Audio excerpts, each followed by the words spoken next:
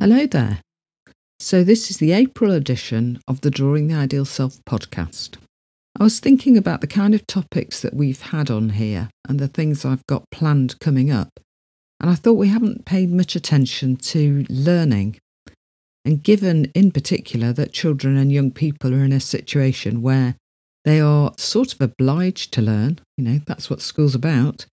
Uh, and if they don't learn, people start to get very frustrated and worried about them. I thought it might be worth having a look at that, and in particular, looking at reading, because that's a core skill required by schools and required by life.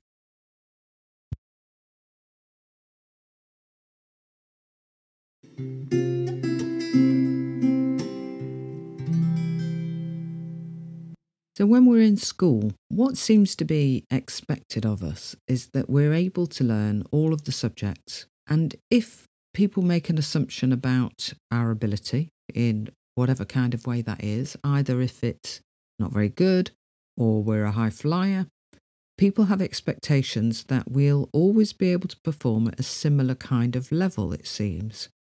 So they get a bit worried if somebody doesn't fit with that. And I suppose what that's drawing attention to is the importance of the average, the domination of the idea that people are going to proceed along in some kind of orderly, normal, in inverted commas, way.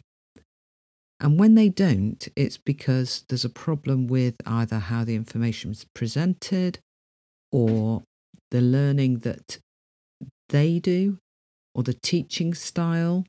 What's less important from the system point of view is why people would want to learn, why young people want to learn, let's say, design. If they don't see it as relevant to them, are they going to be learning or are they going to be sitting through a lesson, writing stuff down, trying to remember it because the teacher said so, but not really applying that information and then, therefore, eventually becoming creative with it. And I can remember when I was at school having struggles with some subjects, and there were a number of components for that. One was the content of the subject, which I didn't find very exciting.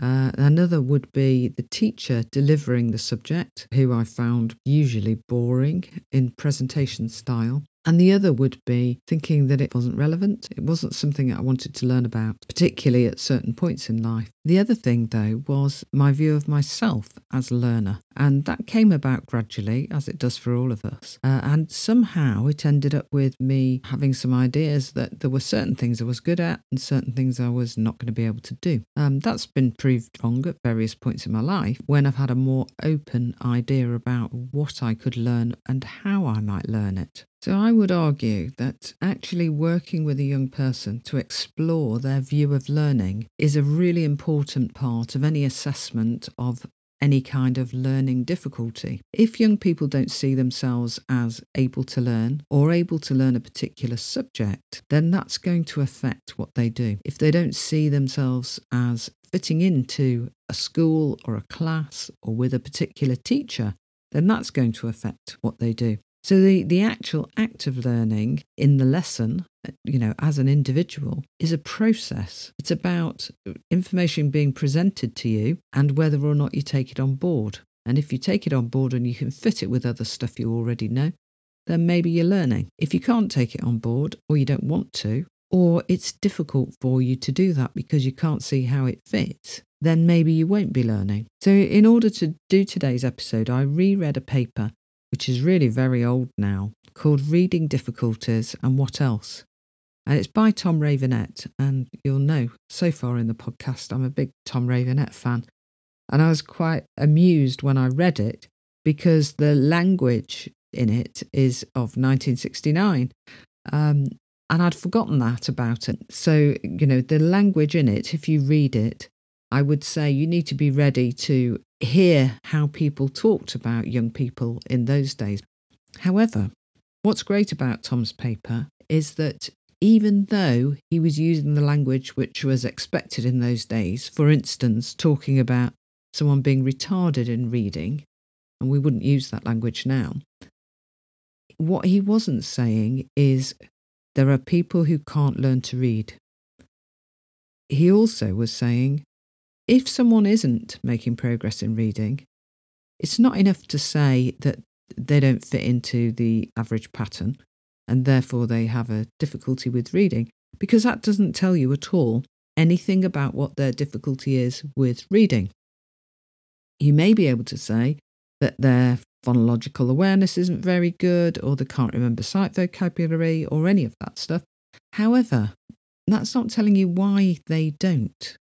Um, and what Tom argues in that paper is the danger of looking at groups for research and making conclusions from that, and then not paying attention to individuals who are still individuals. You know, there may be group averages, etc.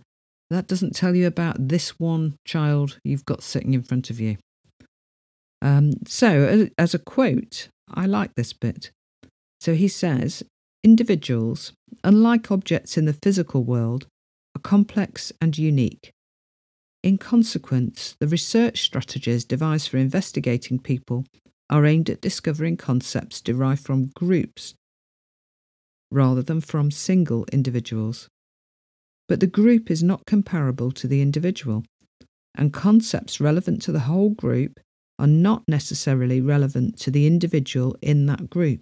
Thus, if on average a group of retarded readers shows lower scores on, for example, a test of visual perception than a comparable group of normal readers, it does not mean that every child in the retarded group is inferior to every child in the normal group.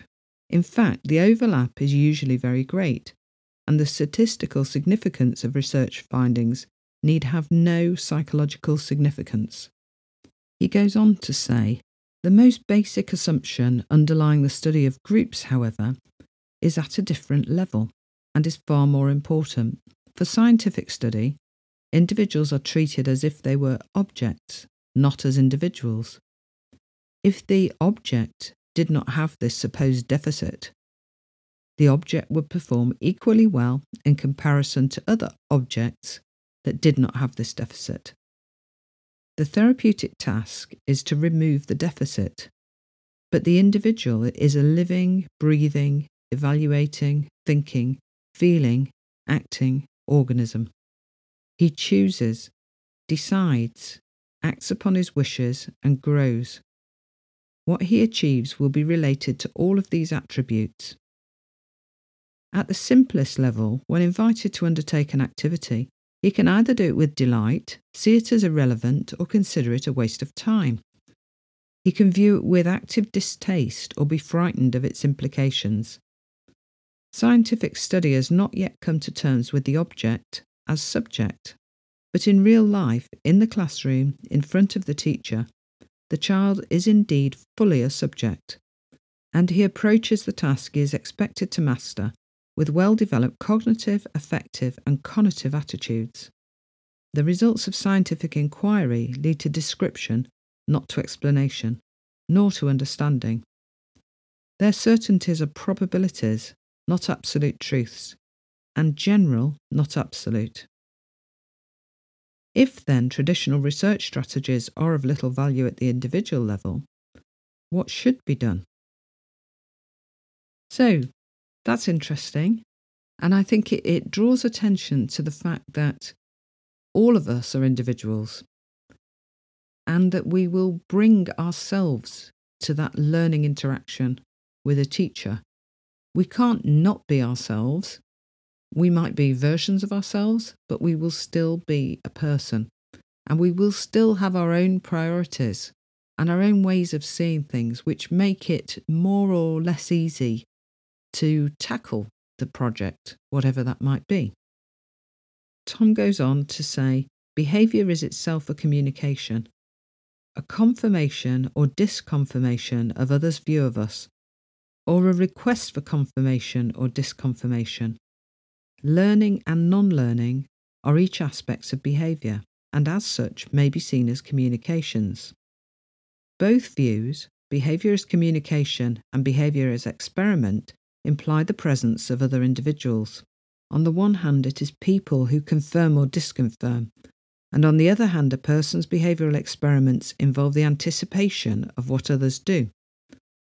Thus, people, parents, teachers, siblings, and peers become important factors when the individual is seen as either experimenter or communicator, and when learning and not learning are seen as experiments or communications. The adoption of these points of view may provide starting points for that new sensibility which is needed in the understanding of reading difficulties. So, the investigation of reading difficulties would need to be personal. It's got to be about why that child sees themselves as somebody who's having a difficulty with reading, if they do. And that's an interesting question in itself, because sometimes everybody else is worried about somebody's progress with literacy, and the child isn't worried at all. But you won't know that unless you have a conversation with them. As far as they're concerned, they may be going along nicely and unaware of the progress of others or not notice that they are behind by a long way. We can't assume that they do know that, so we need to check it out. Without having a conversation with the young person about themselves as a reader in this case, how are we going to know how they see themselves? And that conversation can be facilitated using various PCP techniques, but it's absolutely crucial. So if you think of something like being faced with a page of text, and looking at it and thinking, I don't know what that says. I can work out some bits of it. what does that do to your construing of self? How does it validate or invalidate personal construing? So, if a child expects not to be able to learn, they may look at that, bothers them a great deal because here's more evidence of not being able to learn, or they see it as irrelevant because they are not someone who can learn. Tom goes on to argue that actually any formulation of a reading difficulty isn't really valuable in itself unless something can be done in relation to it. So he says formulation is of no value unless it has implications for action. That's quite a challenge because sometimes people can make formulations, someone's behind with their reading, but the action doesn't relate necessarily to trying to address the issues to explore why someone's behind with their reading and what that's going to entail. It may be that just a new program is tried, so there's an assumption that the program is wrong. I would say there needs to be a step between that, which is having a conversation with a child at the very least once about themselves as reader. I had an interesting experience with this in my own house.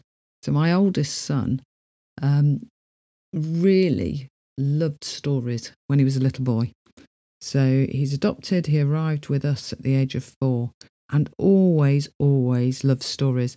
Loved films, loved TV because of the stories, but loved books. So we would go to the library and uh, I took all of our library cards and we'd get about 12 books on each card because they were children's books. Um, so we'd come home with a car full of books and he would work his way through them. You know, initially, when he was little, we would read to him. And then it came to the point where he was learning to read in school and he was clearly finding it frustrating and difficult. Well, the good thing about him, in terms of being a reader, was that he always saw himself as enjoying stories. And there was a point where I became very worried about him when he said to me, I don't want to go to the library anymore. You can go without me. So I went with his sister. And don't bring me any books. I don't want any more books. I only want videos. Um, shows how long ago that was. But he didn't want to have the experience of reading. So my son had always been read to. We'd read all the way through. And what happened as he got older and his sister got older, who was younger, is she started to learn to read on her own.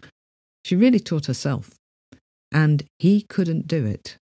Um, so we were very concerned about that, and we discussed it with the school. And what the school said was he was reading fine on the reading scheme. So he was doing the chip books and he loved them. But to be honest, the stories were very, very simple. and he could read them. And what I discovered one day is that he knew the stories and he could remember them. And I found that out because he recited one in his sleep. So I then started to read the books for practice backwards. So we we cover the picture up and start on the last page, which took away the context for the story because I wanted to know could he read the words? And he had no idea. He could read a few words, but he could no longer read in the way that he had been assumed to be able to read.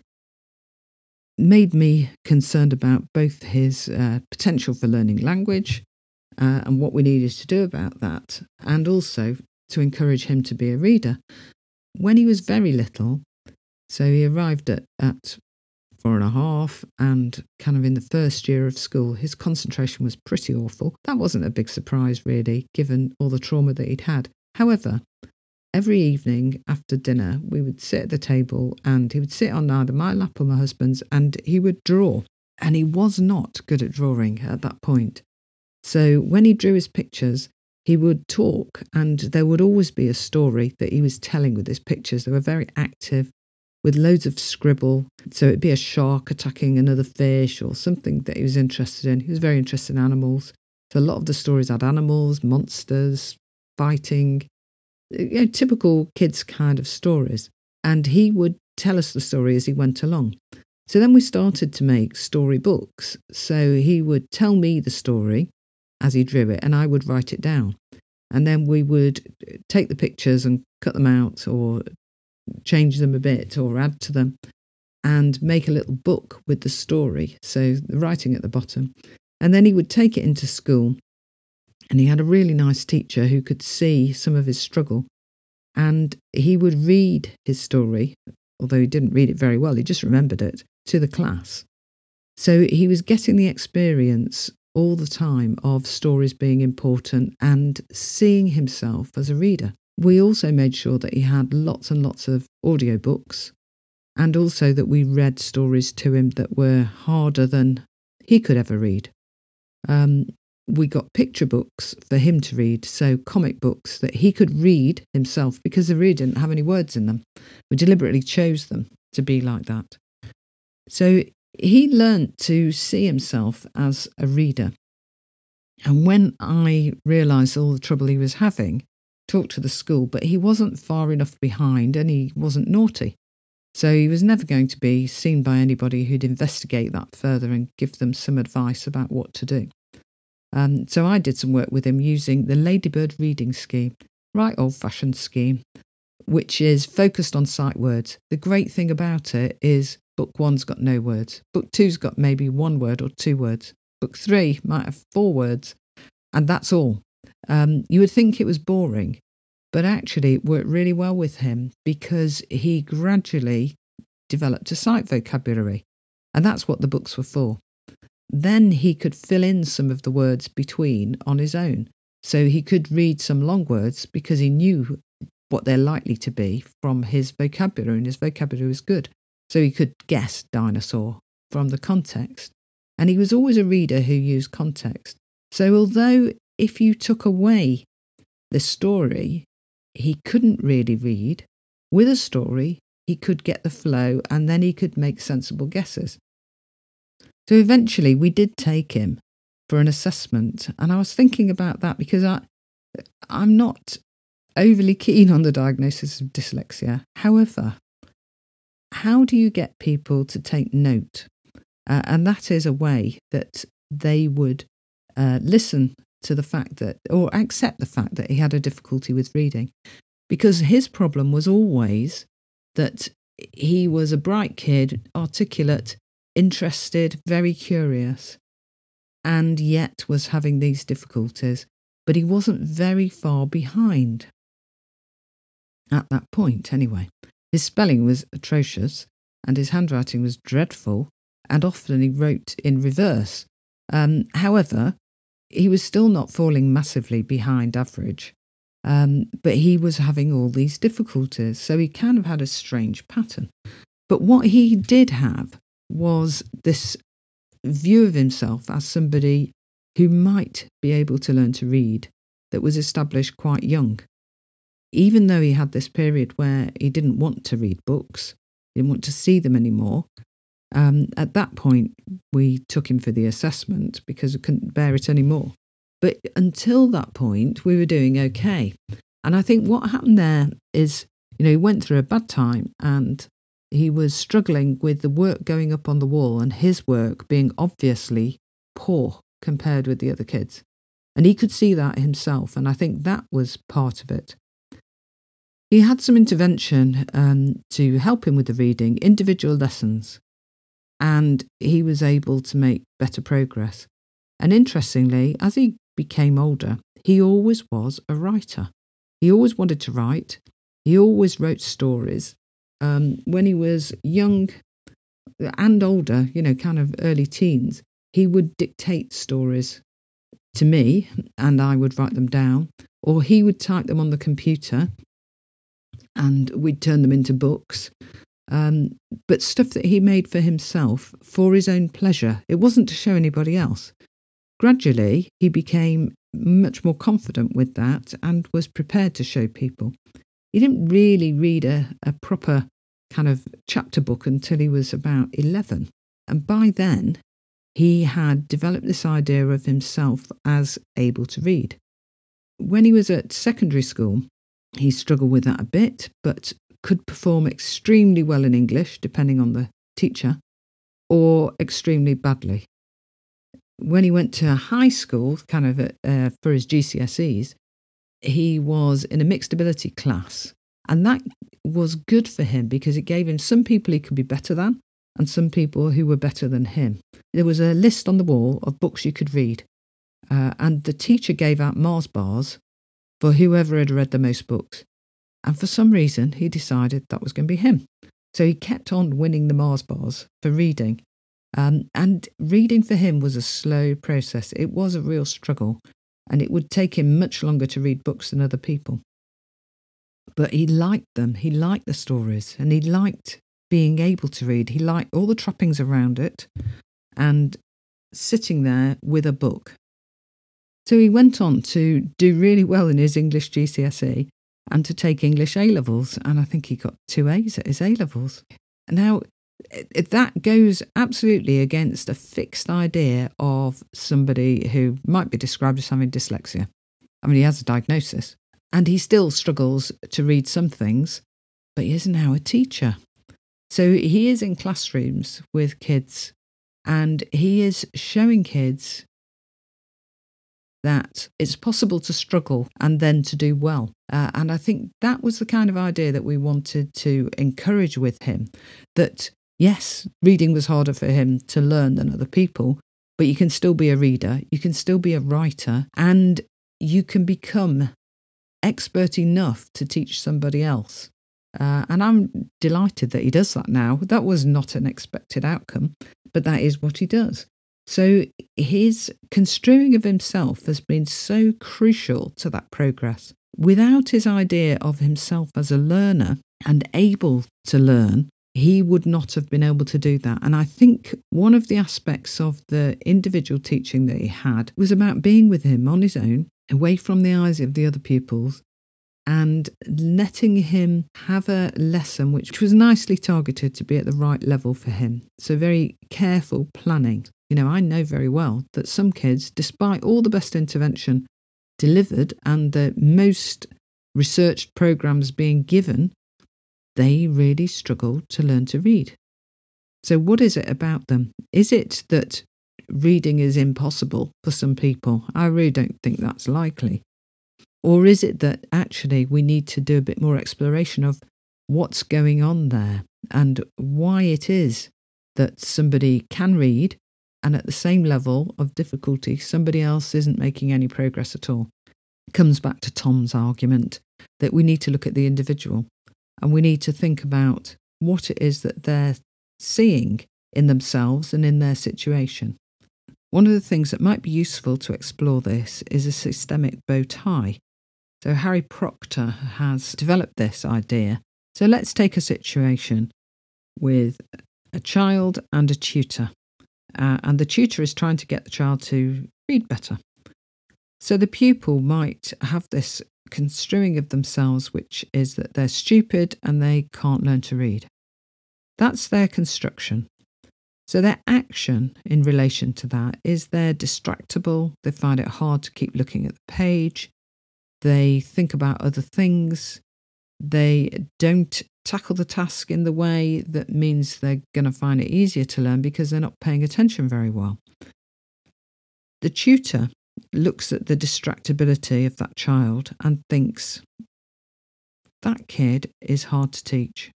So their construction of the child as hard to teach leads to their action of dividing the task into small steps. So making it so that it's very accessible. The pupil then could accept that, but in this case, the pupil sees that as here's more evidence that I'm stupid. The teacher's having to make the task so easy for me. This is babyish work. I don't want to do this because it's confirming that I'm stupid. That systemic bow tie is a really quick and easy thing to use. So you go from construct to action for the two people. But what you get is the picture of a bow tie because you're crossing over. So it goes pupil thinks I'm stupid, his action is distractible, up to the construing of the teacher, which is he's hard to teach, and then an action going down, which is I'm going to put in a small steps program, which feeds back up to the pupil's construction of I must be stupid. You could do a version of drawing the ideal self, which is focused on being a reader, so taking that role. And you could have, um, first of all, the same kind of idea of okay, let's take this person who is a non reader doesn't read and can't read, um, what kind of person are they? And then what's in their bag? And then how do they get on with their teachers at school? And what are they like with other kids? And I would keep the focus on being in an education setting mostly, but I would definitely have in reading practice at home. And so, this person who is a non reader, what do they do about reading practice at home? Because it is something kids are expected to do with their parents. In lots of ways, that's a really ridiculous idea because how on earth can parents teach kids to read? They haven't had any training. Uh, all they can do is practice. And they may not do that well. I know lots of parents who've really struggled with that. And certainly when my own son was having difficulty doing his reading practice was an absolute nightmare because he didn't want to face the struggle of it.